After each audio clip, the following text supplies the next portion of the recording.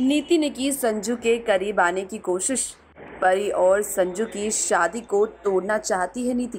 Well show Parineeti की upcoming track में आने वाला है एक शॉकिंग ट्विस्ट जी हाँ जहाँ हम देख रहे हैं कि नीति जो है, वो तोड़ना चाहती है परी और संजू की शादी। और ऐसे में वो कर रही है संजू के करीब आने की कोशिश।